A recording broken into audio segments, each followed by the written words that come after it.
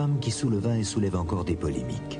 Une femme qui passionne historiens, médecins et prêtres. Une femme qui pendant 50 ans vivra sans manger, ni boire, ni dormir, paralysée et alitée dans l'obscurité totale. On me dit, je le crois, que, parce que j'avais fait une enquête, vous savez, sérieuse, euh, qu'elle ne peut ni manger ni boire. Oui, c'est vrai qu'on lui donnait une cuillère à café, ça ressortait par les narines. Bon, pourquoi? Parce que son encéphalite avait fichu en l'air, il de déglutition, c'est vrai qu'elle ne pouvait pas avaler. Ses fonctions digestives étaient arrêtées. C'est ici, à Châteauneuf de Galore, un petit village de la Drôme, qu'est née Marthe Robin en 1902. Elle y aura une enfance heureuse mais difficile car ses parents sont de modestes cultivateurs et la vie dans les campagnes est rude à cette époque. Jusqu'à l'adolescence, Marthe sera une enfant vive, gaie et très pieuse. Mais c'est à l'âge de 16 ans que tout bascule. Marthe est alors frappée d'un mal mystérieux.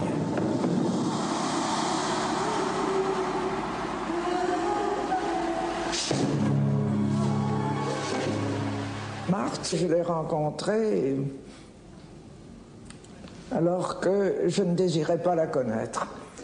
J'avais la plus, j'avais entendu parler d'elle naturellement, mais j'avais une très mauvaise idée sur elle. Je pensais que c'était une sorcière et j'ai toujours détesté les sorcières.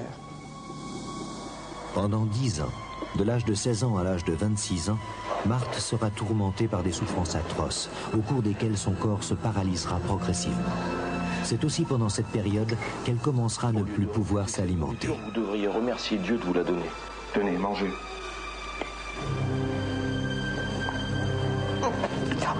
Quelqu'un qui ne boit pas et qui ne mange pas ne peut tenir qu'entre 3 jours et 8 jours en moyenne chez quelqu'un en bonne santé, de la quarantaine, sans problème extérieur. En 1942, d'éminents médecins de Lyon, les professeurs Deschaumes et Ricard, viennent examiner Marthe très en détail. Ils constatent dans leur rapport que Marthe est paralysée, qu'elle est aveugle et que son appareil digestif ne semble pas fonctionner. Ils émettent l'hypothèse qu'elle pourrait souffrir des séquelles de la fièvre typhoïde qui l'avait frappée dans son enfance. Cependant, d'autres médecins n'acceptent pas cette explication. Marthe Robin, euh, euh, elle est tout sauf malade et handicapée. Elle est très intéressante à nombreux points de vue, mais elle, elle n'est pas malade organiquement. Il y a une chose pourtant que Marthe parvient à avaler, la Sainte Hostie. Ce fut sa seule nourriture pendant 50 ans. Seigneur, je ne suis pas digne de vous recevoir, mais dites seulement une parole et je serai guéri.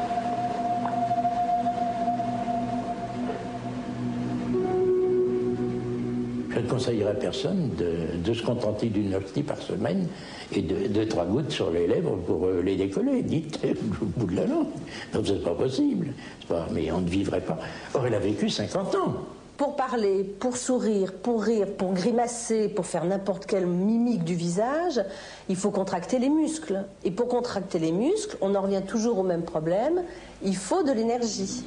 Avoir de l'énergie, c'est avoir de la matière première, donc s'alimenter ou boire. Comment expliquer ce prodige défiant toutes les lois du corps humain? Quelle est la raison de ces terribles souffrances? Marthe, elle, donne un sens à sa douleur. Elle sait qu'elle a une mission à remplir auprès des hommes et que Dieu lui a demandé de se sacrifier pour eux. À partir de, de 16 ans à 26 ans, elle était prise dans, dans une spirale de maux abominables dans lequel elle était de plus en plus paralysée, dans lequel elle était, elle ne pouvait plus manger, elle ne pouvait, elle pouvait parler, mais elle finissait par ne n'y voyait plus ou elle ne supportait plus la lumière, et elle souffrait, elle souffrait atrocement. Pendant 50 ans, prisonnière de son mal, Marthe ne sortira plus de sa petite chambre obscure. Ces manifestations sont le reflet d'une lutte et d'une stratégie de lutte contre une angoisse névrotique. Une angoisse névrotique qui commence, euh, qui, commence, qui se manifeste au, au plein jour euh, au moment de l'adolescence, à 16 ans. Une angoisse névrotique qui est telle que le seul moyen qu'a Marthe Robin à ce moment-là, c'est la fuite. C'est vers 1930 que commence ce que beaucoup appellent sans réticence un miracle. Chaque vendredi, Marthe revit la passion du Christ. Sur son corps apparaissent les mêmes blessures que celles du Christ sur la croix. Dans de terribles souffrances, Du sang s'écoule de ses pieds. De la plaie ouverte sur le flanc gauche et de ses mains percées.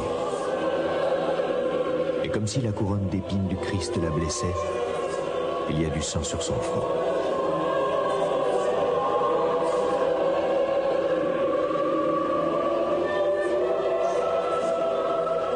C'est ainsi que tous les vendredis, Marthe accepte de souffrir comme le Christ l'a fait, par amour pour les hommes.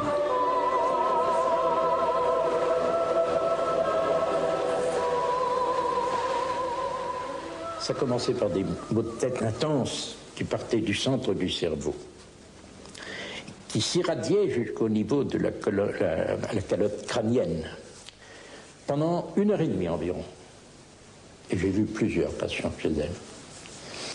Et apparaissaient sur le front des turgescences dermiques, c'était sous-épidermique, comme des veines qui se gonflaient, si vous voulez.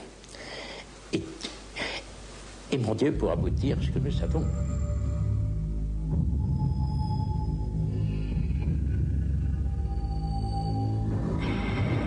Il y avait d'autres moments terribles dans la vie de Marthe. Des moments où elle semblait lutter contre des forces d'une incroyable violence. Pour elle, ces forces, c'était le diable qui essayait de la posséder. Et chaque semaine, avant de vivre la passion, Marthe se livra à un combat avec le démon.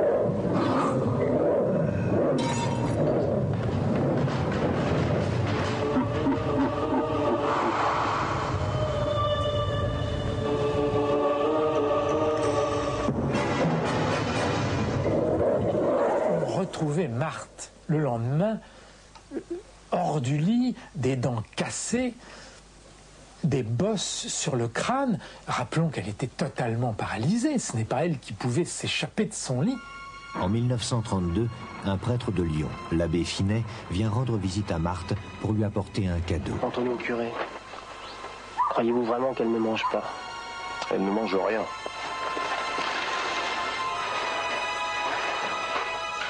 Mon père, vous êtes celui que Dieu m'envoie pour prêcher mes retraitants.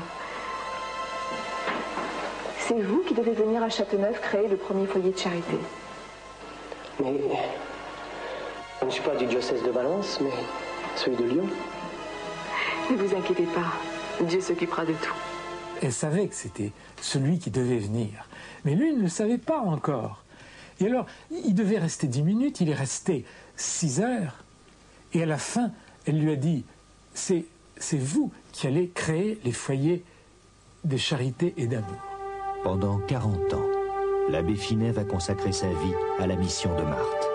Grâce à lui, sans bouger de sa chambre, elle va créer 70 foyers de charité partout dans le monde. Il y avait dans, Marthe des choses invraisemblablement extraordinaires, comme le fait qu'elle mangeait pas, qu'elle dormait pas, qu'elle buvait pas, qu'elle causait avec le démon. Bon. Et puis, euh, quand on parlait à Marthe de ces choses extraordinaires, elle vous disait les choses qu'on vous raconte sur moi, ça n'a aucune importance. Je n'y attache aucune importance. Marthe, c'est la personne la plus extraordinaire que j'ai rencontrée. Marthe Robin est morte le 6 février 1981 à l'âge de 79 ans. Sa notoriété fut telle que durant toute sa vie, elle reçut près de 100 000 personnes qui venaient chercher auprès d'elle le réconfort et la lumière. 8000 fidèles ont assisté à son enterrement, ainsi que plus de 200 prêtres, évêques et archevêques. Pour beaucoup, Marthe est une sainte, mais l'Église ne s'est pas encore prononcée à ce sujet.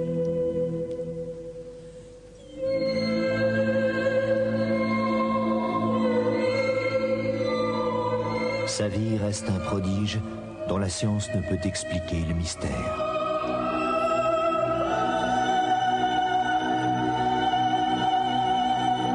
Il faut en effet rapporter qu'ils avaient vu de mystérieux